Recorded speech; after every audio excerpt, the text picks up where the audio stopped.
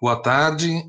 Uh, temos hoje uma nova conferência Cronos, organizada pelo Centro de História das Ciências dentro do Instituto de Estudos Avançados. Meu nome é Gildo Magalhães, sou o diretor deste centro que eu mencionei, e hoje tenho o prazer de contar com o professor Estélio Marras, que é bacharel em Ciências Sociais, mestre doutor em Antropologia pela Faculdade de Filosofia, Letras e Ciências Humanas da USP, e tem atuado na orientação de pós-graduação do Instituto de Estudos Brasileiros e também da própria FEFELEST da USP. Tem especialidade e pesquisa nas áreas de antropologia da ciência e da tecnologia, antropologia da natureza e da modernidade e uma série de outros estudos, eh, inclusive coordenando um laboratório pós-disciplinar de estudos do Instituto de Estudos Brasileiros. Também é pesquisador do Centro de Estudos Ameríndios, da USP. Ah, o professor Estélio é, tem trabalhado, então, com a antropologia da ciência e da tecnologia, especialmente dentro de questões que é, tenho certeza ele vai abordar hoje, é, porque é, o antropoceno, que é um, um conceito relativamente novo, envolve questões tão amplas quanto a biodiversidade, a sociodiversidade, a poluição, segurança alimentar, enfim, uma série de problemas que estão ligados com o uso é, dos recursos naturais. Há praticamente 100 anos atrás, o Teilhard Chardin, juntamente com o pesquisador geólogo soviético Vladimir Vernadsky, eh, propuseram que esta era a nova etapa da humanidade que tinha chegado, eh, enfim, eh, passando da biosfera para a noosfera, em que teríamos o primado do conhecimento da ciência e da tecnologia. Então, eu vou partir dessa breve introdução passar a palavra para o professor Estélio, lembrando que aqueles que estão participando através do YouTube podem é, enviar suas perguntas e comentários para o iaresponde.usp.br. Então, professor Estélio tem a palavra. Professor Gildo Magalhães, muito obrigado pelo convite, obrigado ao IEA também por, por esse convite honroso. E eu vou, sem mais delongas, já é, começar essa comunicação. E eu, digo isso porque eu, eu, vou ter que ser um pouquinho ligeiro. Eu imaginei que eu é, deveria ter mais tempo para falar, é, e eu me confundi. Então, vou ter que acelerar um pouquinho as coisas. Também já peço desculpas por isso. E se eventualmente Gildo, eu ultrapassar um pouco o tempo, mas uh, isso também não, não impede de me interromper sem problema uh, nenhum, tá? Eu preparei aqui essa comunicação, que é uma espécie de transformação do que eu apresentei num curso justamente chamado O Antropoceno, Abordagens Transdisciplinares, que eu e a pós-doc Karen Shiratori estamos oferecendo hoje, ó, digo, neste semestre, é, pelo, pelo, pelo programa de pós do IEB, também pelo programa de pós é, de Antropologia Social da FEFELESH, e um curso esse que conta com a colaboração de vários colegas, como da arqueologia e da filosofia, diferentes ramos da antropologia, num esforço, de fato, bastante interdisciplinar. É, eu acho que é uma apresentação, essa agora, mais bem pensada, mais bem consolidada e organizada, por isso é, eu é, logo passo a comentar o título dela, né? A emergência do antropoceno, hesitar, refletir e, e agir, né? E acho que tem logo que destacar pelo menos dois sentidos importantes dessa palavra emergência, ambos sentidos dicionarizados. Né? Um é o que mais vem imediatamente à mente mesmo, né? que é emergência como uma situação grave, perigosa, um momento crítico. E um outro sentido é aquele do ato de ou efeito de emergir, isto é, algo que emerge e que remete, por exemplo, ao, ao, que os biólogos chamam de propriedades emergentes. Algo vem à tona, algo que aparece e que não podia ser previsto ou inteiramente previsto anteriormente às relações, aos contatos, às entre influências. Então, é uma soma, o produto de uma relação cujo resultado não restitui as partes que foram somadas, né? Mas escapa, transborda, excede essas partes é, relacionadas, né? Eu costumo conceber isso é, numa fórmula simplíssima, mas ainda, a meu ver, instrutiva, né? É que conceber a ideia de emergência, né? É como transbordamento, é, é, numa forma muito simples, assim, 1 mais 1 é igual a 3, né? Quer dizer, algo aí escapou, excedeu da relação, no caso, uma relação é, de soma, né? Algo aí é, ultrapassa o que ali mesmo foi posto. Ainda considerando o título, acho também que faço bem em logo é, indicar a, a, a, noção de antropoceno com a qual eu vou trabalhar, que eu acho que é a que nos interessa aqui, e por isso eu vou logo a uma a, pensadora contemporânea, a, chamada Anna Tsing, né, e, e que para ela essa época geohistórica, né, uma fusão, se não um colapso, né, do, do, do geológico com o histórico, essa época marca ela diz, eu cito, não a aurora da perturbação humana, mas, em vez disso, uma quebra nas coordenações. Algo, ela continua, que é muito mais difícil de corrigir. Então, relacionar o antropoceno, como bem me parece, a um problema de quantidade é algo que a gente deve fazer, não é só uma, um problema de qualidade, é um problema de escala e de velocidade. Ela, ela fala no antropoceno como uma descomunal perturbação humana. Isso que dá, cito mais uma vez, numa crise de habitabilidade de nossos tempos, crise de habitabilidade.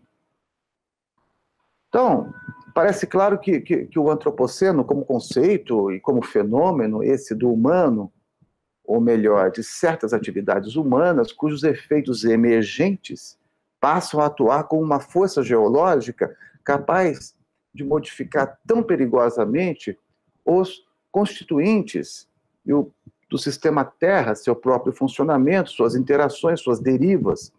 Então, com isso, logo, o antropoceno nos impede a, aquela facilidade de aplicar a, as nossas usuais separações ontológicas. Não, não digo que metodológicas, mas isso seria um outro assunto que não vai dar para abordar aqui.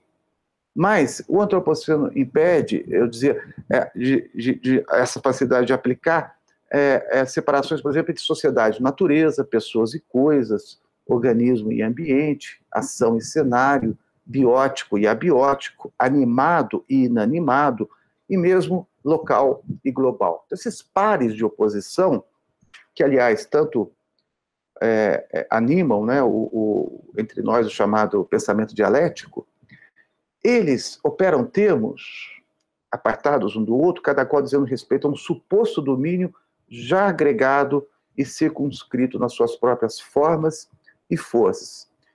Isso é assim para nós, modernos, os humanos, o povo da natureza, tudo isso entre aspas, porque são palavras do Latour, né?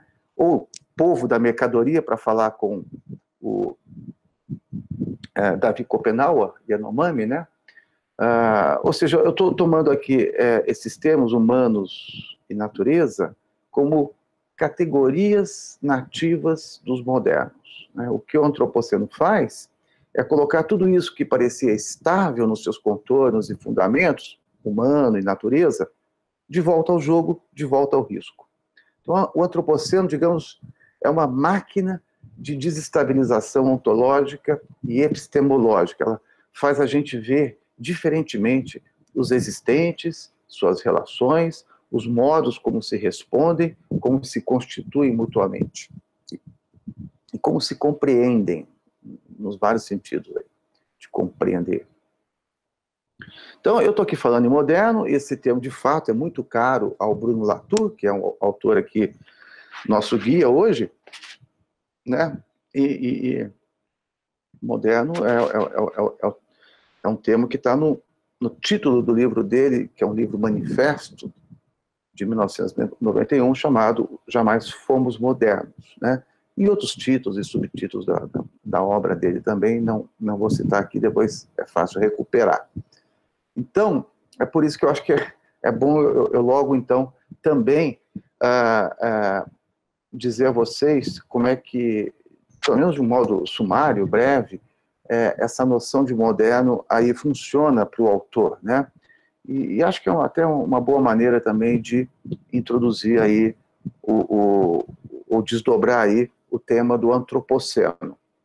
Então, o Bruno Latour, esse pensador francês contemporâneo, tem uma formação em filosofia, ele que renovou profundamente com o grupo dele chamado Science Studies, né? Renovou profundamente os chamados estudos de ciência, tecnologia e sociedade nos últimos 40 anos, por meio de etnografias em laboratórios de ciências naturais, né? E ele mostra, por exemplo, lá no Jamais Somos Modernos, que essa separação entre natureza e sociedade, ou natureza e cultura, vamos tomar isso aqui como a mesma coisa, é, é, sociedade e cultura, é, essa separação, essa grande divisão, como ele chama, assim aparece, ou seja, separada, dividida, na sua face oficial, visível e pública para nós, modernos. O, o, o, que o Latour faz é mostrar que essa separação ontológica entre natureza e sociedade, ou natureza e cultura, serve para suspender tabus, proibições, na mobilização de entes e seres da natureza e, e, e da sociedade. Né? Então, serve essa separação para uma furiosa mistura entre natureza e sociedade, tal exatamente como se faz nos laboratórios é, de ciências naturais. E aqui eu preciso é, desdobrar tão rapidamente quanto possível esse, esse, argumento fundamental do pensamento dele, Latour, né?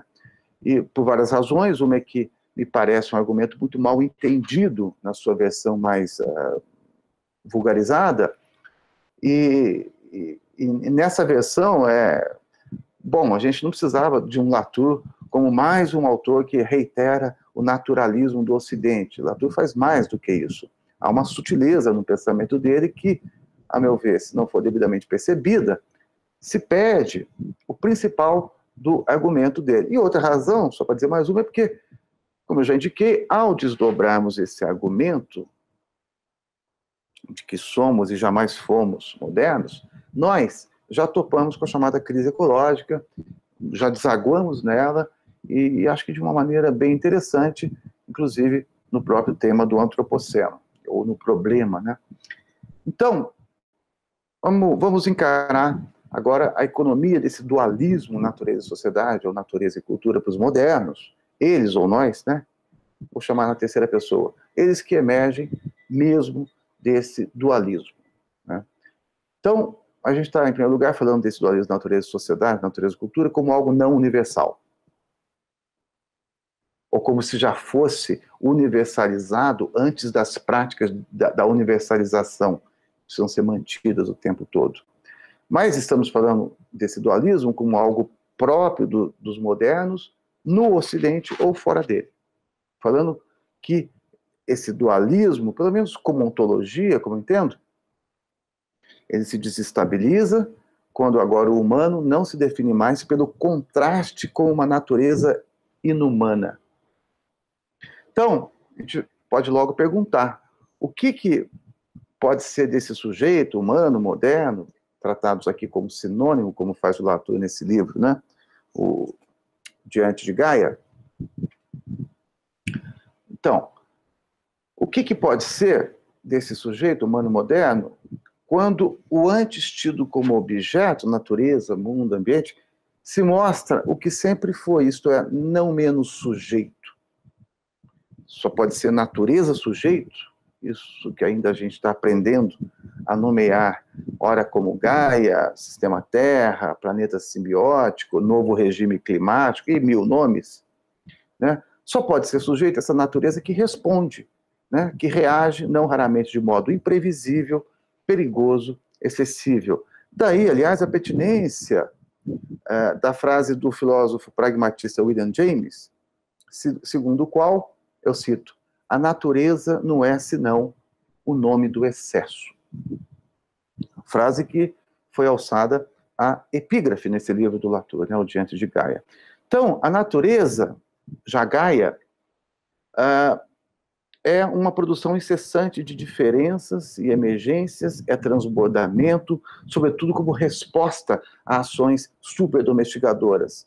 Por exemplo, pandemias virais. Essas que, já ontem, hoje, certamente amanhã, respondem, responderão pelos avanços desmedidos e globalizados dessa alta domesticação de espécies confinadas e pela não menos perigosa eh, aproximação despudorada desinibida, desimpedida, é, junto a espécies selvagens. Então, num primeiro caso, né, a doença da vaca louca, e no segundo, a emergência do novo é, coronavírus, esse da, que causa a doença da Covid-19. Então, ambos dão testemunho é, desses perigos, desses excessos, transbordamentos, é, como, como esses saltos de é, zoonoses entre espécies.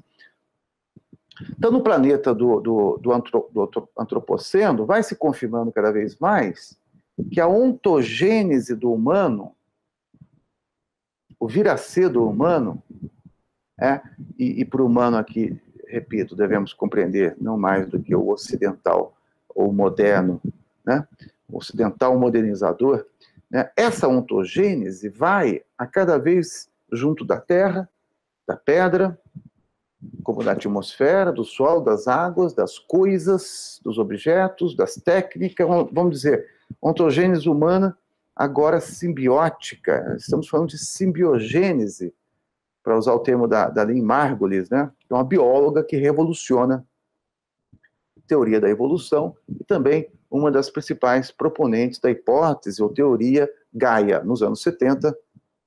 Né? Gaia, então, o planeta figurado em sistemas é, é, altamente sensíveis entre si, respondentes, né? E de modo muito complexo. E por complexo, isso inclui não linearidade e pouca previsibilidade é, dos fenômenos, das ações.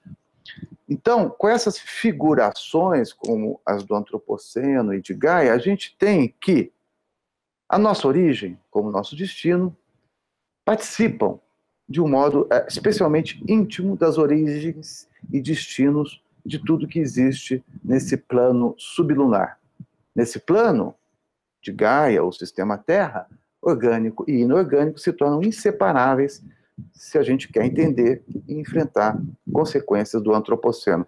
Tudo aí se mostra entre existente, entre respondente, tudo que evolui aí se mostra em coevolução, tudo que se transforma se entre transforma em regimes de modulação recíproca. Então, a duras penas, nós estamos tendo que aprender que, desde sempre, nós fazemos sociedade com não humanos. Que nossa sociedade humana jamais se manteve sem sociedade com não humanos. Né?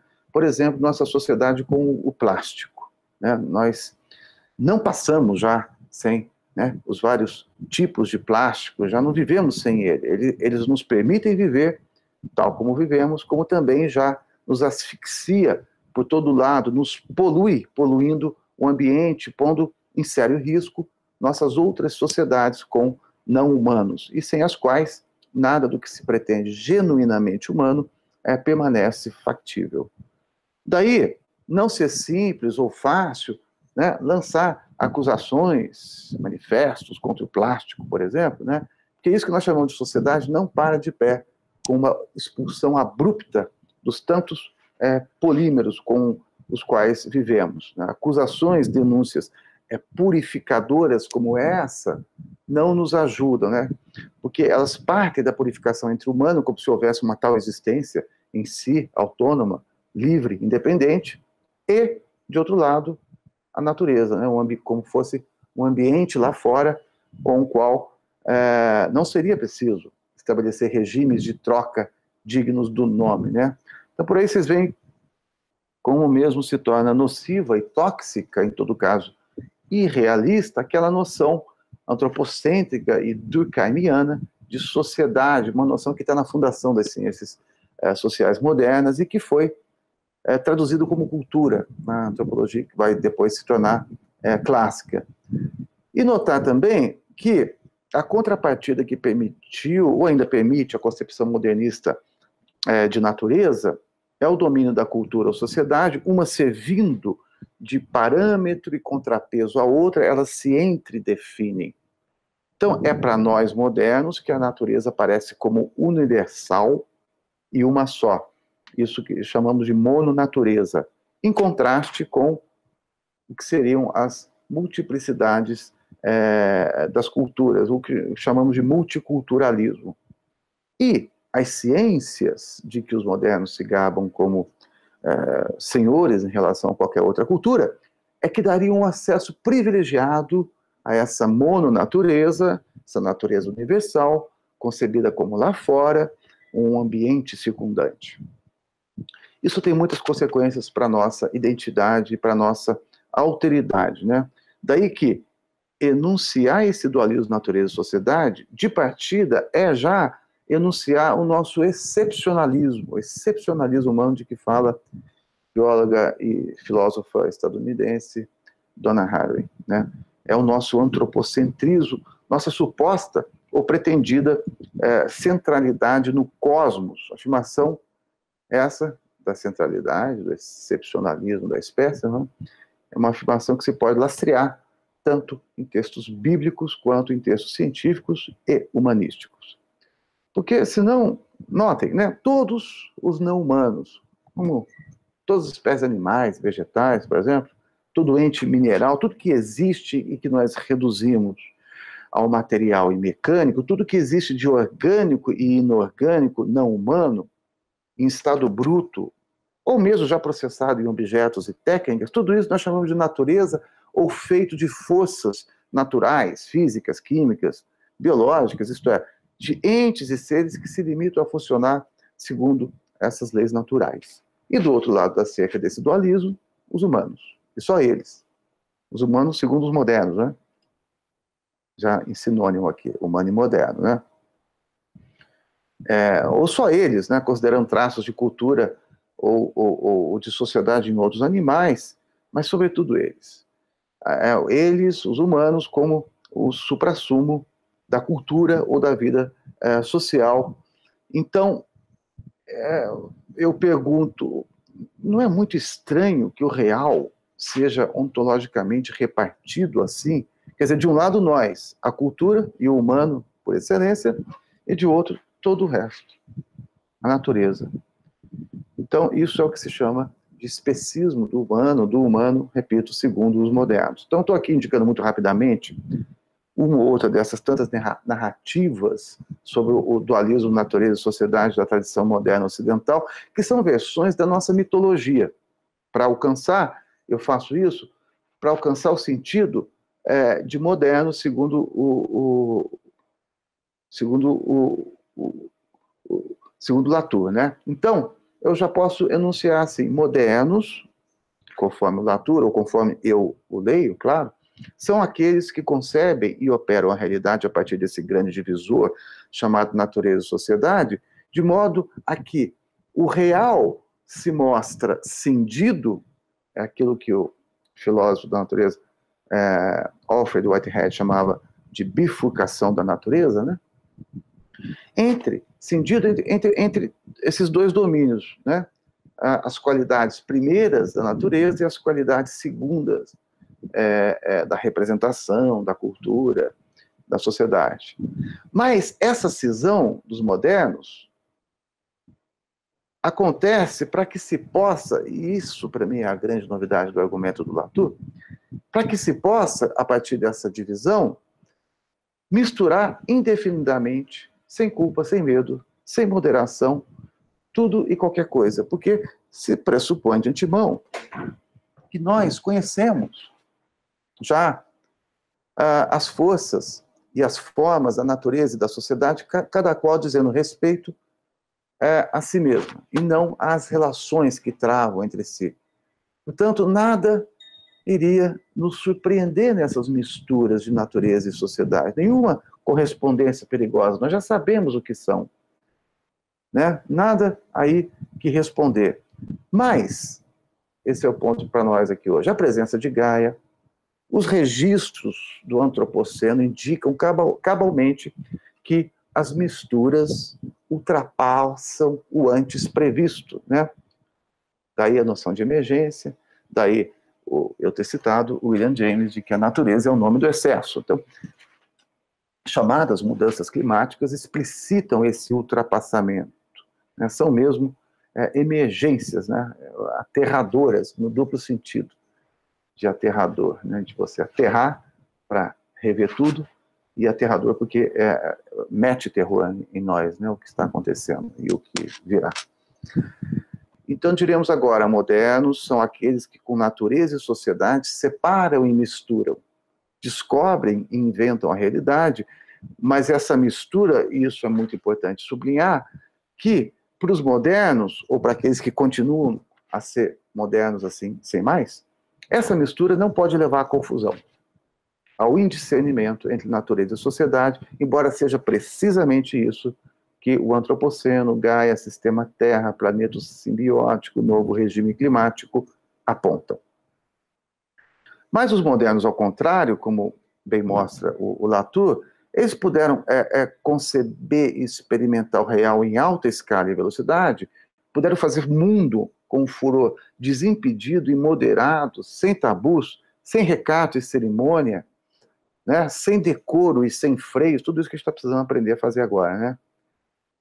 Eles puderam fazer isso, ou nós, nas suas práticas científicas de mistura de natureza e sociedade, mistura de humano com não humano, justamente porque contavam com a garantia de que natureza é uma coisa, sociedade é outra, garantia de que natureza e sociedade dizem respeito a distintas forças e poderes, distintos domínios, distintas casas ontológicas, cujos fundamentos, esse do natural de um lado e do social de outro, não se confundem. Se se confundissem, se, digamos, a atmosfera passa a figurar como sujeito, e, portanto, apresentando respostas imprevisíveis, então tudo se desacelera. E um abalo na velocidade do modernismo é um abalo no próprio modernismo, nos seus pressupostos, na sua fundação, nos seus fundamentos. Então, diante de toda essa catumbe nos nossos hábitos de pensamento, nos nossos hábitos de conhecimentos mais arraigados.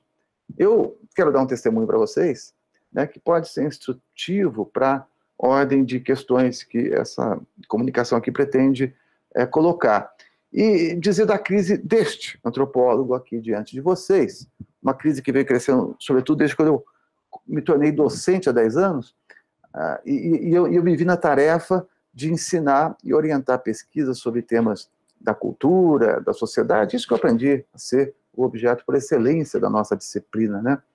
Agora, eu ia fazendo isso no momento mesmo em que a natureza, ainda para usar esse nome, e a disputa de nomes aqui é, é o que me parece deve nos interessar é, centralmente, porque é uma disputa de ontologias, de mundos por fazer, mundos, modos de conhecer.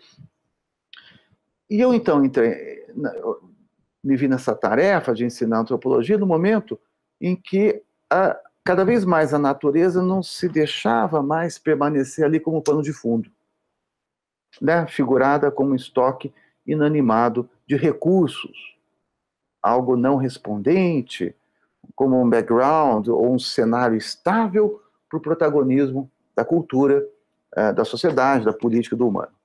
Então, a natureza emergente, respondente, isso que, insisto, ainda vamos aprendendo a chamar, por exemplo, de Gaia ou de sistema Terra, etc., ela não se deixava mais uh, uh, comportar como antes e não deixava que a cultura, a sociedade e a política por extensão, permanecessem tais e quais. Então, eu fui cada vez mais aprendendo a estranhar, desconfiar de toda enunciação sobre cultura social, representação, simbólico, quando essas formas e forças se mostrassem girando em torno de si mesmas, como se fossem meio autoevidentes, autorreferentes, mesmo autônomas ou como mônadas fechadas sobre si mesmas. E como, no mesmo passo, também autônomo e bem definido seria o humano, essa espécie, esse objeto de estudo, essa, essa figuração. Então, para logo dizer, uma tal noção estável de cultura, ainda que com variações internas na disciplina, essa noção teve, né? Embora essas variações, eu acho, nunca, nunca tivessem posto em causa a sua pertinência fundamental da, da noção de cultura. Mas uma tal noção de cultura ainda podia funcionar mais ou menos bem enquanto seu polo oposto e constitutivo, a natureza, se deixava também ela se manter mais ou menos estável. Vamos dizer, era a natureza do Holoceno, essa que desaguaria na natureza da modernidade, na natureza da política moderna e de uma política da natureza modernista que, para funcionar como funcionava, embora nunca sem multiplicar exceções, é o argumento do Latour, né? Ela devia ser, como aprendi como autor, desanimizada no plano oficial, público e visível, e, portanto, fora da política e da democracia. Os não humanos da natureza não podiam ser agentes políticos, não no mais forte e honrado da expressão. Não podiam ter a participação digna do nome na construção do contrato social. A gente pode lembrar, por exemplo, o Thomas Hobbes, lá no contrato, lá no Leviatã, né? É, essa variante mítica que dá origem à sociedade pacificada, ao Estado moderno, ao direito moderno e mesmo ao humanismo ao qual prezamos nos atar, ele, Hobbes, dizendo, lá no século XVII, nesse livro tão importante, né, dizendo, eu cito, que é impossível pactuar com os animais. Então, contrato social coloca tudo que não é humano para fora. Agora, o problema diante de nós hoje é que se mostra inescapável o imperativo de repactuar com animais, com plantas, atmosfera, solo, águas, como não menos, por exemplo, com os combustíveis fósseis, com os polímeros, mas sem exigir desses não humanos modos sociocêntricos humanos, que são modernos, é, de fazer pacto. Então, é um imperativo esse é, de rever todo o contratualismo social que permitiu ao Ocidente moderno proliferar sob garantias que não se sustentam mais, garantias da modernidade, como eu disse, esmiuçadas pelo Latour no seu livro Manifesto, Jamais Fomos Modernos, de 1991, garantias que protegiam o humanismo. Mas o humanismo que está cada vez mais sob nova aprovação, né? porque as condições que davam suporte e possibilidade a esse humanismo estão sob degradação por assim dizer, ou para dizer com o Michel Serres, que é um importante, é um filósofo importante, interlocutor do, do Bruno Latour, é urgente, em contraste ao contrato social, a redação de um contrato natural. Contrato natural é o título que dá a, a, é, é, o título do livro dele, Serres, né, de, mil, de 1990, dois anos antes da ECO 92, um ano, de, um ano depois da queda do Muro de Berlim, em 89, né?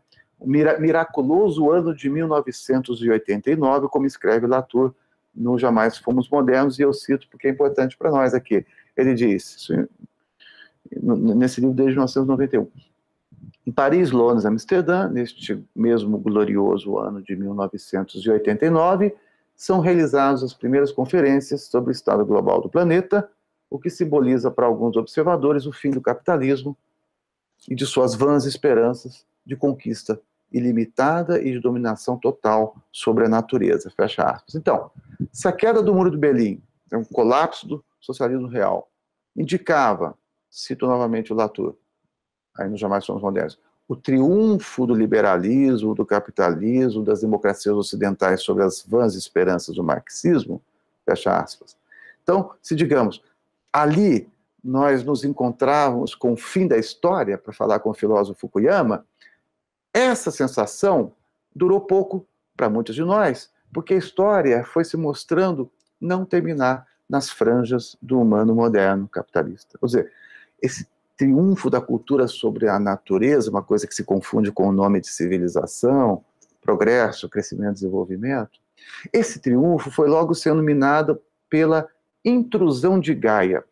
Nessa expressão, de outra interlocutora importante do Bruno Latour, química de formação, né, foi aluna do Prigogine, com quem é, escreveu um livro importante, entre outros textos, né, a filósofa belga contemporânea Isabelle Stengers. Okay?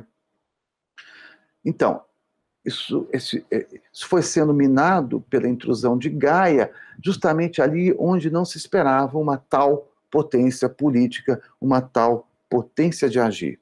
Então, eu passei a entender que colocar-se diante de Gaia é aceitar a reviravolta tanto da noção de cultura quanto da de natureza, porque elas duas, repito mais uma vez, se pressupõem reciprocamente. Se o Latour já vinha mostrando isso, desde, desde os anos 70, lá com Science Studies do, do, dele, do grupo dele, né, uma sociologia da ciência e da técnica é, renovada empiricamente, é, sobretudo com as etnografias em laboratório científico, eu diria que a partir dos anos 90, ele, Latour, passa a encarar as reviravoltas desse dualismo cultura e natureza, investindo atenção na sua antropologia dos modernos, né, ao problema das mutações ecológicas. Então, digamos, Latour passa do foco de uma antropologia da ciência para um foco numa antropologia da natureza, uma e outra como faces de uma antropologia dos modernos. Então, tudo agora,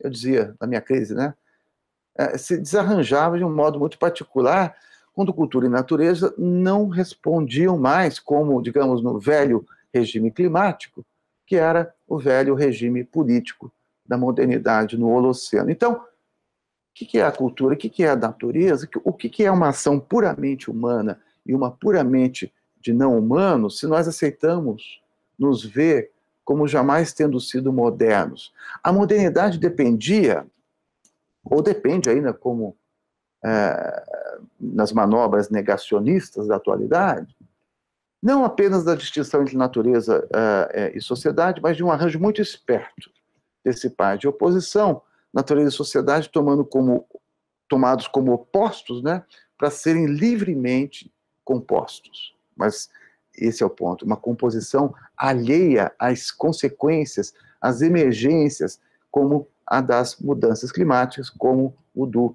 aquecimento atmosférico. Então, se nós vamos nos dando conta de que jamais fomos modernos, que sempre fomos misturadores ontológicos como qualquer outro povo, como é que eu podia entrar em sala de aula, Gildo, para falar sobre cultura ou sociedade sem natureza? Como é que eu podia escrever artigos, orientar pesquisas sobre o humano sem considerar a sua íntima composição com não-humanos de toda a sorte, estava claro que o ferramental não servia mais. Eu, de repente, me vi sem meios né, para responder a essa crise, ou responder a alunas e alunos que vinham, digamos assim, com Gaia nos olhos. Pelo menos conforme eu procuro ver nelas, neles. Eu, eu precisava, então, de novos aliados, novas autores, novos autores, companheiros, que também cada qual, a partir da sua ecologia é, é, disciplinar, ecoasse esses é, incômodos. Daí, como hoje me parece tão claramente, a minha aproximação é, ao pensamento do, do, do, Latour, filósofo de formação, né, da Stengers, como eu disse, química, e que depois se tornou filósofo da ciência, da Dona Harry, bióloga, que se tornou filósofa, como da Anna Tsing, que eu citei, ela é, que, como a Haraway, é uma importante autora dos chamados estudos multiespécies. Né? Aproximação também é, renovada a, em relação ao, ao, ao, antropólogo Eduardo Vieira de Castro, antropólogo de filosofias ameríndias, ele que já era uma referência inescapável para a antropologia, mas que nos últimos anos, como também o Latour, repito, é, veio cada vez mais se interessando por aquilo que não era bem um objeto da antropologia ou das humanidades, das ciências sociais. Então, são esses autores, esses autores, eu citei só alguns aqui mais em evidência, que para mim pavimentam essa mutação do objeto antropológico, não mais o humano, mas digamos o humano Gaia orientado. Não mais a sociedade ou a cultura, mas o coletivo, como no vocabulário do Latour, coletivo que é a composição, a cada vez a ser composta, né, agregada, mantida, associada, é, de distintas, ou a partir de distintas potências de agir humanas e não humanas. Essa é a ideia de coletivo, de um modo muito sumário, é, para o Latour. Então, com essas autoras, esses autores, eu acho que a gente tem aí um convite para procurar correspondências entre é, mudanças ecossistêmicas, como as climáticas, e mudanças epistemológicas nas humanidades, como na antropologia, e daí a gente tem que, de algum modo, trair a nossa formação, né? conjurar o humano do humanismo moderno, ressituar o humano, isto é, o moderno, no mundo, mas humano e mundo, ambos, já não mais, uma vez diante de Gaia, humano e nem mesmo o mundo, no sentido humano no sentido de natureza, perdão, mundo no sentido de natureza lá fora, ou no sentido, digamos, totalizante do globo de Atlas. Né? É uma guerra, portanto, uma guerra mesmo de figurações ontológicas, né? isso é que está em disputa hoje. Então, essa agenda é mais ou menos recente, acho que ainda é minoritária na minha disciplina de formação, e mesmo nas disciplinas afins das humanidades, ela, ela não fez parte da minha trajetória. Não, não fez parte da trajetória da minha geração. Quando muito era marginal, periférica, nunca o sumo daquilo a que devíamos nos, nos devotar. Então, o que fazer com a nossa formação, que já, desde as primeiras lições, nos apresenta o humano diante do, do mundo, humano destacado do mundo, já emergido, vamos dizer assim, né? já derivando numa esfera própria. Humano e natureza já prontos um para o outro. O que fazer se não contrariar a nossa particular disposição humanista, cuja contraface dá naquilo que, por exemplo, o Antônio Bispo dos Santos, o Nego Bispo, que é um poeta de liderança quilombola é, no Piauí, chama de cosmofobia. Ou, num outro exemplo, contrariar uma característica que nos define, que precisa ser urgentemente redefinida, a de que, eu cito, a nossa cultura tem horror ao mundo. Fecha aspas. Essa é uma frase, de novo, do filósofo Michel Serre, no referido contrato natural. Serre, que, claro, não deixaria de aparecer aqui também nesse livro do Latour. Então, olhando retrospectivamente, quem diria que há não muito tempo nós viríamos dar nisso de ter que refundar a imagem do humano e de mundo. Aliás, se eu tivesse que resumir essas conferências aqui do Latour em pouquíssimas palavras, eu acho que é, seria isso, né? refundação do humano e da natureza, quando agora o humano e a natureza não são mais o que eram na relativa estabilidade climática, ecológica e também sociológica do Holoceno, né? da habitabilidade do Holoceno. Não são mais o que eram quando nós nos acreditávamos, assim sem mais, como modernos. Portanto, reconhecer outras figurações ao humano e ao planeta é exigência de quem aceita colocar-se diante de Gaia, enfrentá-la, resistir ao escapismo, à negação científica e política do real, resistir ao quietismo. Então, o ponto é que se não revemos com a devida radicalidade essas imagens, esses conceitos, rever os modos como dar figuração e encarar o real, não haverá como sugerir, apontar junto à sociedade civil e à política, as profundas transformações que essa nossa geração deve encampar, sobretudo as próximas gerações. E isso como condição para que, digamos, o céu não despenque de vez nas nossas cabeças, para falar com o Copenhague, né? É, que tem um, esse livro tão importante, junto com o Bruce Albert, esse etnólogo americanista, chamado, o livro chamado é, A Queda do Céu, Palavras de um Xamã Yanomami ou para falar com o próprio Michel Serre, de novo, do contrato natural, que em mil, lá já em 1990, vejam que curioso, escrevia que, dirige, que dirigentes ombros sustentarão agora esse céu imenso e fissurado que pode desabar sobre as nossas cabeças. Então, seria preciso dar um adeus ao humano e à natureza como condição para se aproximar da noção de povo, noção de povo no Latour, né? Ele fala aqui em povo da natureza, em contraste a povo de Gaia. Né? E povo aqui não se confunde com população, digamos, com um exército, reunião de pessoas, com, digamos, os humanos entre eles, aqueles do contrato social, do humanismo, que se volta para o próprio umbri, umbigo, né? e contra o qual, contra esse humanismo, um é, tão importante antropólogo é, se colocou, né? o Levi-Strauss, né? Claude Levi-Strauss, certamente um dos maiores antropólogos de todos, o todos os tempos, etnólogo americanista, portanto, especialista em povos é, indígenas das Américas, e é como ele diz, totalmente inspirado pelo pensamento pelas práticas é, indígenas, lá no último parágrafo do volume 3 da série Mitológicas dele, né, o volume chamado A Origem dos Modos à Mesa, né, em que ele termina dizendo que um humanismo bem ordenado não começa por si mesmo. Mas está dizendo, povo da natureza é o povo que não se faz sem natureza, isto é, esta figuração da terra, natureza, como uma coisa inanimada. Né? Como também, povo de Gaia é povo que não se ergue sem a figuração animada da terra. Então, a natureza pede seu povo, como Gaia pede seu povo, a gente poderia dizer também, com Copenaua, que a mercadoria também pede o seu povo. E tudo de que se trata é distinguir entre si esses povos, isto é, esses mundos. Então, eu já indico o um entendimento aqui que nos deve é, interessar centralmente de que o antropoceno, esse nome, é um chamado à recomposição, essa ação do moderno com o mundo. Talvez o católico Latour, Paulino Latour, pretenda mesmo uma conversão do moderno em terrano, né, uma conversão é, daquele povo de Deus, aquele da criação com C maiúsculo, em povo de Gaia. Gaia como uma divindade profana que se metamorfoseia em mil nomes e, portanto, em mil ontologias. Mas, a partir dos argumentos dele mesmo, Latour, eu diria que não é uma conversão para salvar a alma humana, mas, aí sim, para salvar o mundo da alma humana, isto é, da alma moderna. É como no Evangelho de Mateus, que o Latour cita aqui na sexta conferência, página 331 da tradução.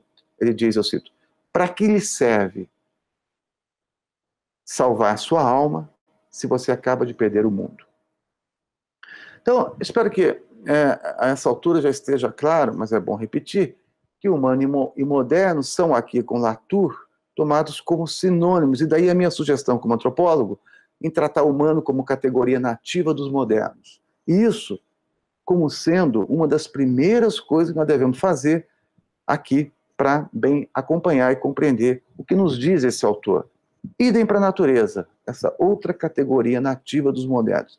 Agora, indicar que humano e natureza são categoria, na, categorias nativas do, dos modernos não é uma coisa que eu faço para, digamos, diminuir o alcance dessas noções, essas noções que se pretendem universais assim, simplesmente, mas sim para aterrar essas noções, né, na sua própria ecologia prática e de pensamento.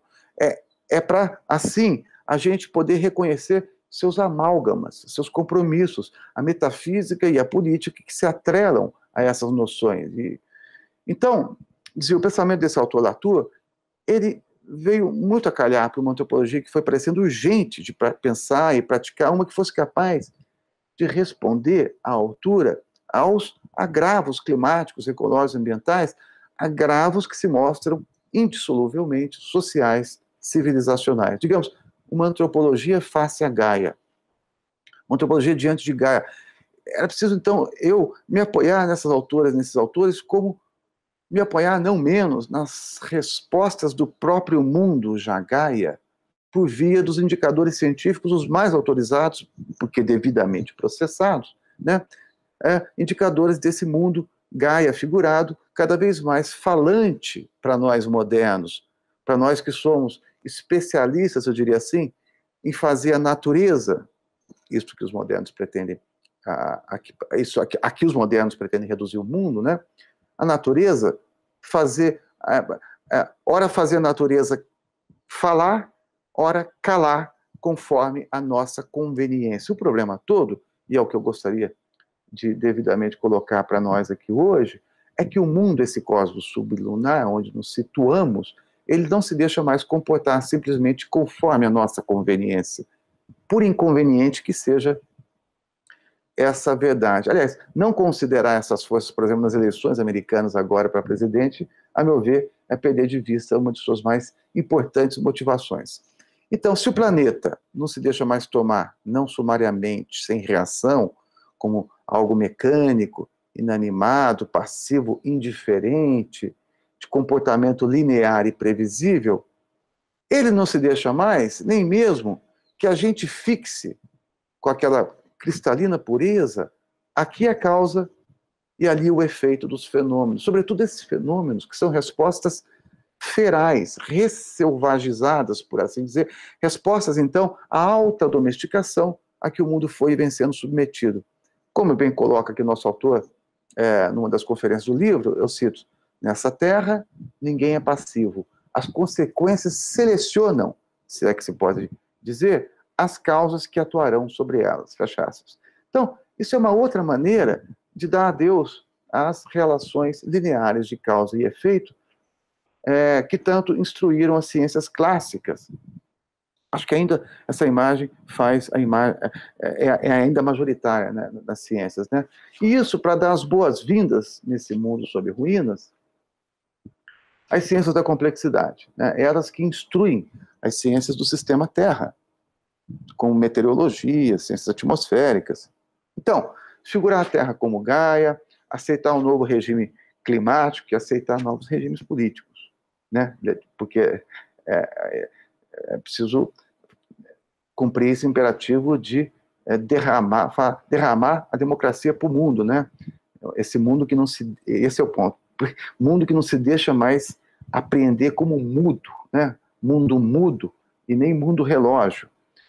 Então, isso é um imperativo para habitar e ser habitado pelo planeta simbiótico e nos vermos mesmo como seres simbiontes, se não holobiontes, assumir a sociogeologia do antropoceno, isso tudo bagunça demais o nosso tão ah, arraigado hábito de pensamento que busca causas para consequências. Mas, ao fazer face a Gaia, ao seu comportamento respondente, o que nós percebemos é um verdadeiro looping, uma retroalimentação, ressonâncias, modulações recíprocas entre causa e consequência.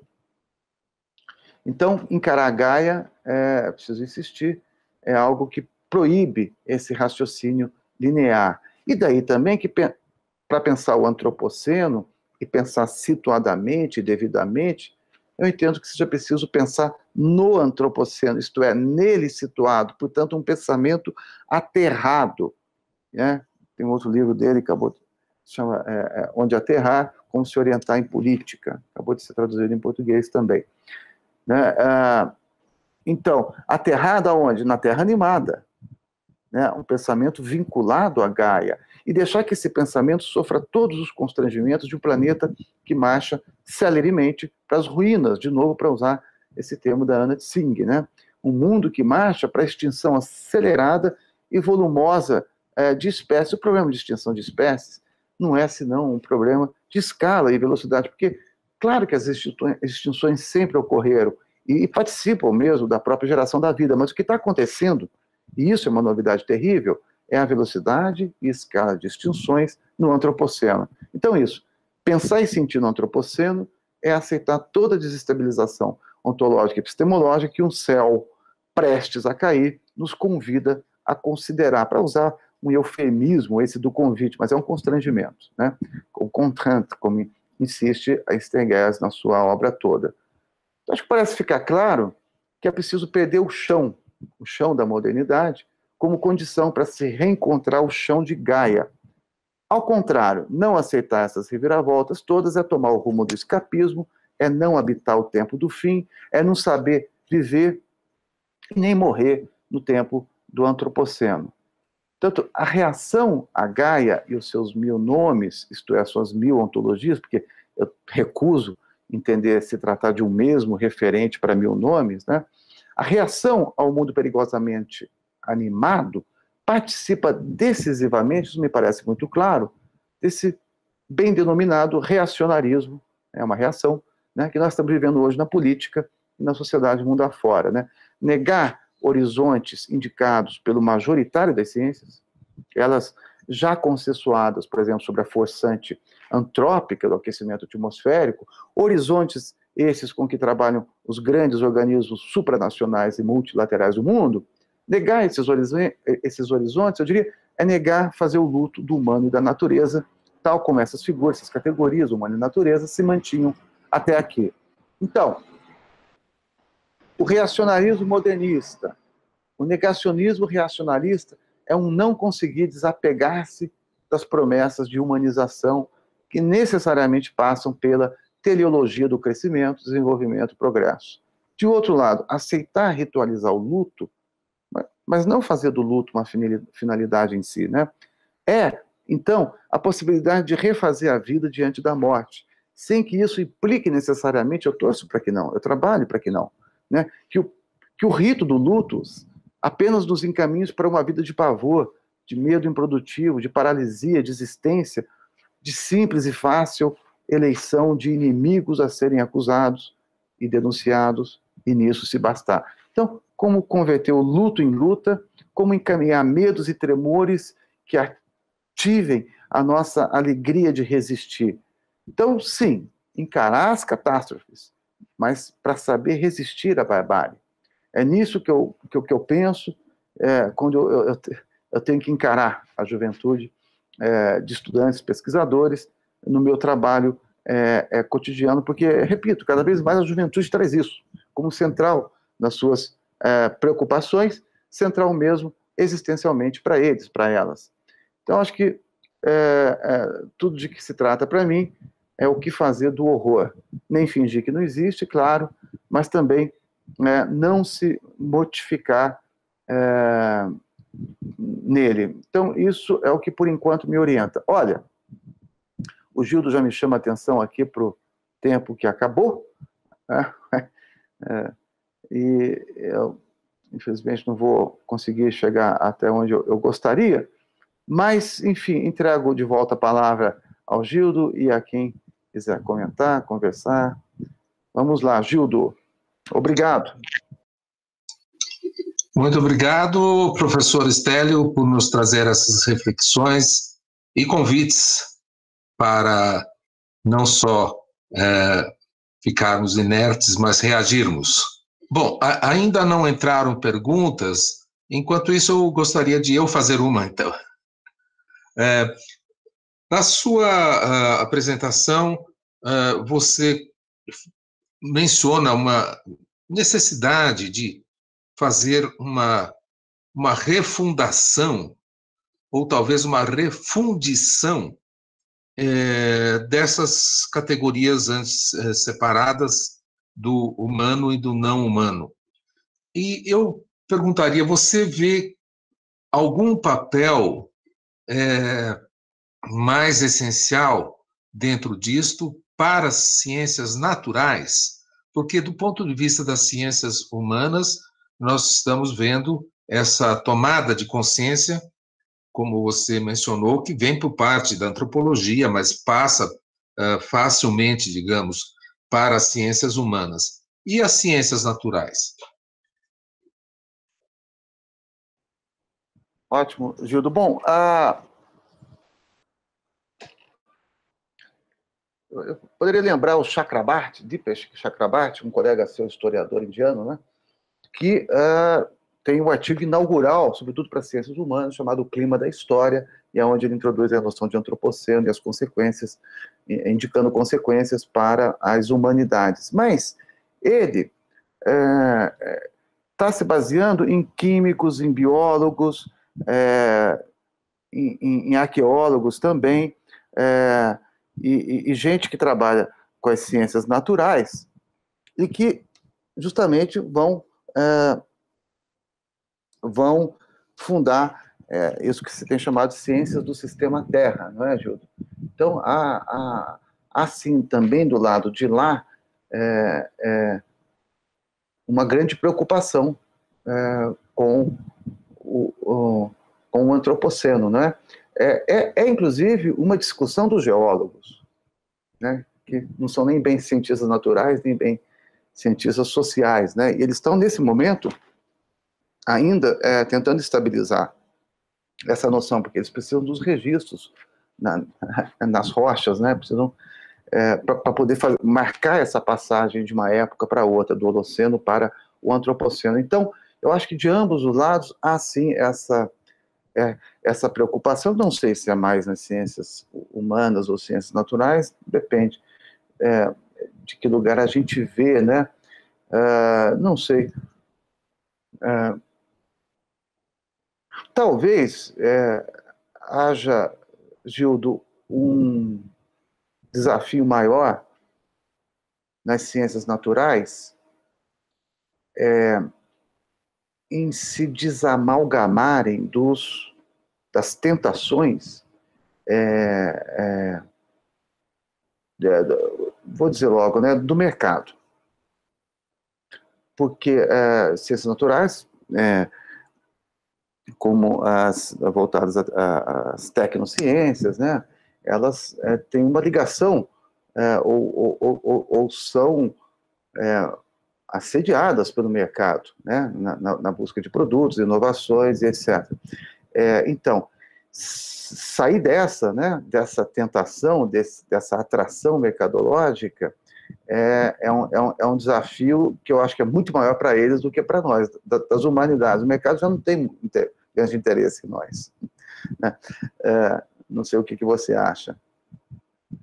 É, eu acredito que uh, você tocou num ponto talvez crucial de toda essa nova visão, que é, é como se desapegar é, do mercado, uma vez que o, o mercado entrou de maneira avassaladora numa dessas etapas que são analisadas né, nessa época do antropoceno, que é a, a dita globalização do mercado, é, que, que faz com que as respostas tenham adquirido um, uma velocidade e um alcance é, tremendamente maiores do que antes. É, mas, é, do ponto de vista da, da, da minha né, pergunta anterior, você mencionou também algo que eu acho muito interessante, da geologia. Dizer, quando eu falei logo na, no início da nossa tarde de hoje é, do Vernadsky, é porque tanto o Havelock, ao apresentar a ideia de Gaia, é, recorreu ao Vernadsky, quanto a Lynn Margulis, a bióloga que também é, foi resgatar, digamos, o pensamento do Vernadsky, é, pelo qual o, o mundo já não é mais só sublunar. Nosso mundo é o universo. A, a ideia de que o, o, isso que nós chamamos humano está restrito ao planeta Terra já começa a deixar de existir na medida em que estamos planejando bases na Lua ou em Marte ou futuramente ainda mais além. E para tudo isto, é claro que você vai precisar de um concurso enorme é, das ciências ditas naturais. Né? Então, você tem, de um lado, essas forças geológicas do, do homem, e, e aí eu até vou devolver para você a pergunta, falando se é, o, o antropoceno é, de fato, o, o fim do antropocentrismo, ou se isto ainda vai permanecer e com isso tem todas as ligações uh, com o mercado, com outras facetas disso que nós fomos construindo aos poucos. Eu iria chegar nisso é, na apresentação, mas é, é disso que se trata. A Gaia, Antropoceno, de certa forma, viram é, nomes que indicam guerra, guerra de mundos. É como esses autores estão falando, né? Estão falando em guerra de mundos. Então, nada está dado, né? Você vê, é, estão, nós temos reação a, a, esses achados científicos. Por isso que eu acho bem colocado o nome de reacionarismo, né? É, quem pensa tem, tem dado a, a essas correntes que negam as evidências científicas, como as evidências das mutações ecológicas e das mudanças climáticas, do aquecimento global e etc. É, então, o que nós temos à frente né, realmente não está nada dado, mas por ser disputado. Nós temos é guerras, disputas, guerra de mundos, guerras por sensibilização. É, é, então, por, por, quando eu olho, por exemplo, um diante do outro, como a gente viu numa foto da imprensa, né, a Greta, Greta Thunberg e o, e o Donald Trump, eles parecem viver no mesmo mundo, mas eles não vivem no mesmo mundo. E, e, e, e é, delinear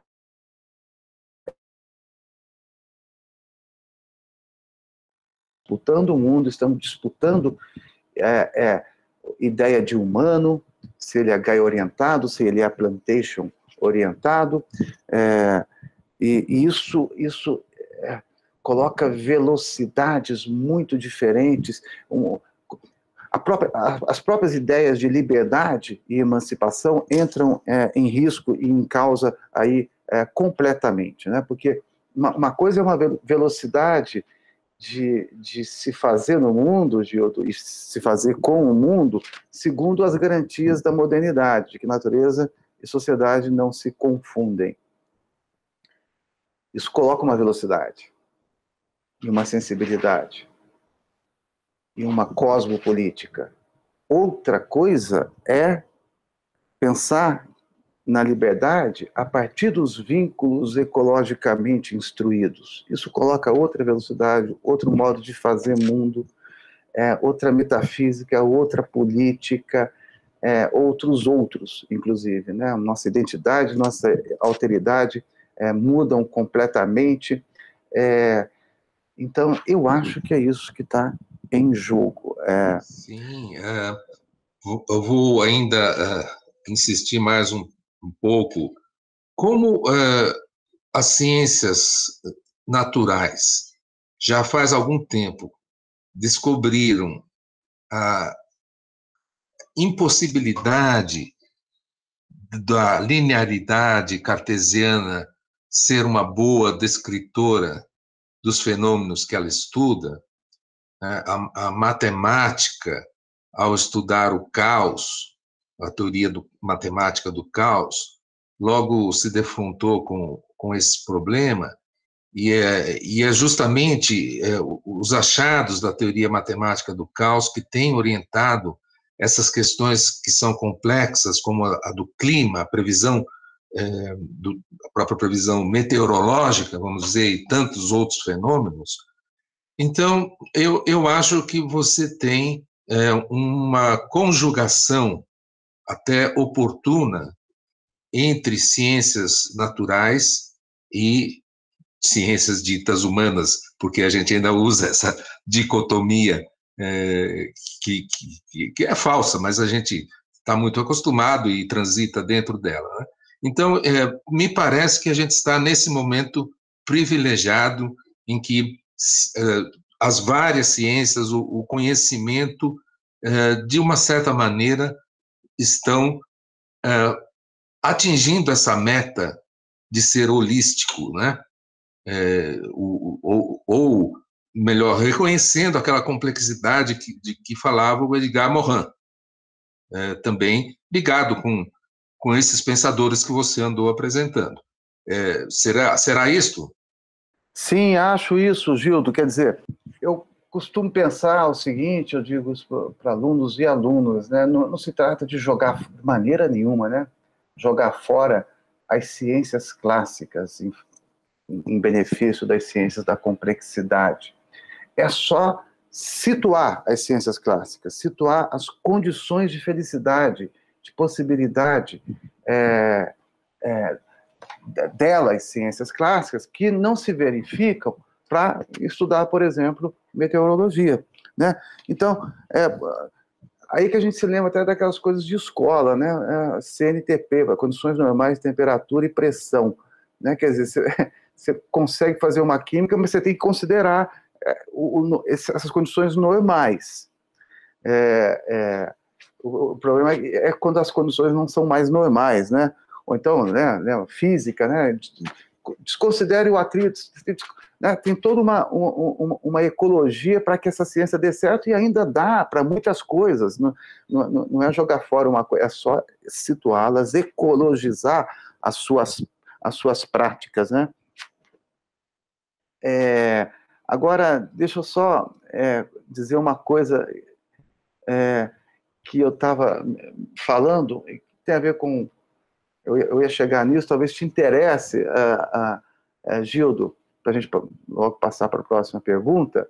Né? Eu estava falando que é preciso é, declarar guerra e divisar com nitidez agora amigos e inimigos, dar nome, reconhecer é, contornos, povos e, e, e, e, mundos. Eu acho que é isso que o Latour está é, é, fazendo, e daí caracterizar a natureza animada, a terra respondente, essa Gaia que é a um só tempo imanente, porque é feita também por nós, mas transcendente, ou seja, essa nossa ação eh, nos supera, né, nos ultrapassa, ela é emergente, né? E, e isso tudo essa, essas figurações é, de mundo, essas figurações animadas, ela correm a contrapelo da figuração do mundo independente de nós, derivando a, a, a, revelia, que é, para falar com as ciências clássicas que você evoca, né, a natureza conforme ela mesma, não sei se você vai lembrar, é uma, é uma face triunfante do Newton, que escreve lá no seu, seu princípio, né, os princípios matemáticos de filosofia natural, que ele publica a partir do final do século XVII. Isso, quem me lembra, são a Isabelle Stengers e o Ilia Pregugini, num livro deles que eu acho que é o mais radicalmente interdisciplinar que eu conheço, de 1979, chamado A Nova Aliança, Metamorfoses da Ciência, que justamente comparam as ciências clássicas com as ciências da complexidade, mas o Newton, ali, lembra, esses autores dizia é, que a natureza, na, na, na, expressão do Newton, é muito conforme a si mesma. Ou seja, tomando a, a mundo ou natureza, a imagem mecanicista do relógio, né, um mundo transparente, inteiramente é, traduzível e, e idealmente previsível também pela matemática. Então, sendo a natureza conforme a si mesma, diz o Newton, né, não seria preciso fazer hipóteses sobre ela, como a hipótese Gaia do, do, do, do Lovelock, da Margolis, e hoje, como você bem lembrou, muito, muito recuperada. Então, para o Newton, era preciso é, dispensar essa, digamos, ação poluidora de inventar hipóteses para desvendar a natureza, porque o mecanicismo promete, prometia entregar a imagem da natureza que se entrega por si mesma, transparente que supunha ser. Então, contra essa expulsão da especulação filosófica, contra essa imagem da identidade natural autorreferida, ou seja, a natureza conforme ela mesma e não conforme a relação que mobiliza, a encanta desse ou daquele jeito, né, para isso ou aquele fim, há uma série de autores. Um deles é o Gabriel Tarde, que o, o Latour recupera com grande importância para explodir a noção de sociedade, Gildo. Então, o Gabriel Tarde, que é um autor que foi, acho que eu estou ultrapassando, Paro aqui, paro aqui. Pode, pode... Não, acho que até dentro desse diálogo que estamos iniciando, chegou uma pergunta que eu acho que coloca justamente essa questão de posição de guerra. É do Celso Bezerra. Ele gostaria que o, que o professor Stelli dissesse sua opinião sobre o papel da comunicação científica à população se isto surtiria um efeito benéfico para aumento da pressão popular sobre governos negacionistas? Ah, essa é pergunta de ouro, né? Tão difícil é, é, falar rapidamente sobre isso, porque de um lado, sim, é, é, é Celso, ah, tem mesmo a, a academia, as ciências, tem lá o, o, seu papel, um deles é esse da divulgação científica, né? que nem é um nome muito bom, porque supõe o vulgo, né, a quem você deve instruir, como se esse vulgo é, fosse uma tábula rasa e não tivesse também os seus modos de se vincular à vida, à terra, seus próprios entendimentos. Então, isso já é um problema, é um problema muito sério. Eu, eu, eu inclusive, me coloco contra essa ideia de conscientização, é, não acho uma boa, é, é, porque supõe isso que eu estou dizendo, que o outro lado é, é, é, é o lado da falta. Né? E não, não, você, você entende que não, não caberia bem a um antropólogo dizer isso, né? por outro lado, é o antropólogo que está aqui defendendo a, a, a, as ciências. Então, precisamos é, é, repensar os trânsitos né, entre ciência e, e, e sociedade, um que, trânsitos que não sejam instruídos por essa direção do que sabe rumo a quem não sabe, porque isso não dá certo, em geral. Eu, eu até acho, Celso, que uma parte boa do negacionismo, do reacionarismo modernista se prende a isso. Ou seja, é, de que de, se prende a, a, uma reação a uma certa arrogância de, de cientistas. Infelizmente eu tenho que dizer isso, porque isso existe mesmo. Né? E esse distanciamento, ou então uma, um, uma facilitação chamada divulgação científica que que não, que não faz jus nem a quem é, é, é dirigida essa facilitação, essa facilitação e nem às ciências de origem. Então, agora, as artes, por exemplo, eu acho que tem que entrar aí é, é, de, um, de, um, de um modo decisivo. Não para ilustrar a ciência, mas para sensibilizar. Isso, guerras de sensibilização, muito mais do que de conscientização, muito mais de, de, de, informar o ignorante, esse tipo de coisa. Isso não, não, não dá, ou, ou, de tratar o outro como vulgo. Né? Então, eu acho que as ciências, elas mesmas, devem é, devem é, é, é, desenvolver aquilo que é o gosto dela, delas mesmo, que é colocar essa aprovação. Então, ab abrir-se a aprovação do público, as provas do público também. É, é. Então, o que, que nós fazemos com o céu Yanomami, é, diante do nosso céu, atmosfera, são o mesmo céu? Como, é, como fazer dialogar isso daí? E aí, bom, isso abriria para outras mil questões, mas acho que eu pude um pouco indicar o que me parece ser uma, um, um, um comentário à altura da sua pergunta. Eu vou aproveitar essa sua fala final, Estélio, para lembrar de uma frase muito interessante de um filósofo da ciência, o Paul Feyerabend, é, que no livro dele sobre filosofia da natureza, diz o seguinte: a ciência só vai poder voltar a ter a mesma eficiência que teve entre os antigos gregos no momento em que a ciência for outra vez poesia.